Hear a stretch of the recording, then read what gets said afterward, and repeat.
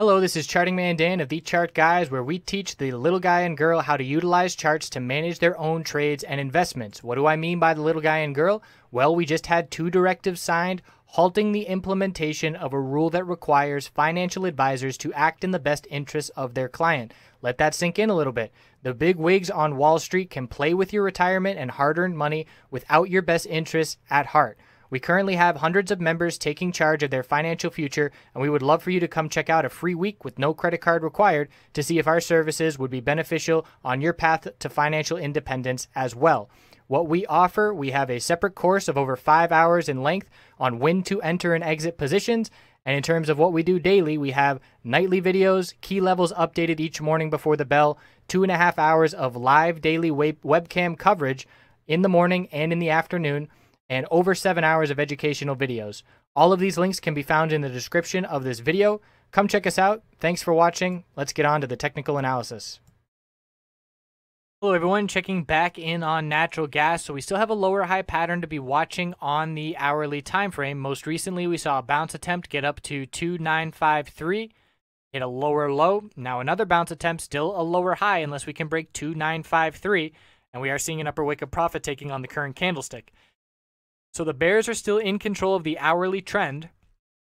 Bulls have to break the lower high pattern to give any kind of conviction to the upside, but we are seeing that bullish reversal candlestick that I was expecting heading into today due to the oversold hourly and four hour RSI levels. So we have a bullish reversal candlestick today on the four hour chart. We did not confirm it. Now we have another bullish reversal candlestick on the four hour chart. And if we do confirm it, we're going to see a bullish MACD cross. Last time we had a bullish MACD cross, we saw multiple green four hour candlesticks in a row. So keep an eye on that. And it actually just formed. It does appear as I'm talking. So now we have that bullish MACD cross right there. Need to see a break of 2953. So we've got the daily time frame bullish reversal candlestick after three big red days in a row, and we'll see if the bulls can confirm that candlestick by seeing that break of 2953 and some follow through to the upside. So again, just anticipating a short-term oversold bounce. I fully anticipate a lower high compared to 318.9 unless we see a big time surprise for the bulls on the inventory report on Thursday I would expect a lower high to form on this daily chart bounce. We'll be watching the 10 day moving average resistance, which rejected the last bounce attempt. That is currently going to be just below $3 as we, it's going to be right at $3 tomorrow. So natural gas bears still in control, but an oversold bounce is underway. Bullish reversal candlestick on the daily time frame for UNG. We did drop down to lower lows. The support back here from November 720 and we bounced off 725 today. So we need confirmation. 740 and 750 are resistances. If we get confirmation and a nice green day tomorrow, we will be looking for that short-term bounce to play out. Looking at the weekly time frame, bulls need to see a rally here at the end of the week or for the rest of the week, and we need to see a close I would say 740 or better to be a bullish reversal candlestick on the weekly time frame. And it is still a higher low compared to the last big time dump we had 685 must form a higher low compared to that level and try and see continuation back up to the upper $7 range. Natural gas bulls are in trouble. Their backs are against the ropes here, and they're going to have to see a change of the daily trend, which is lower highs and lower lows. We look at the weekly time frame, trying to see that bullish reversal hammer on the weekly.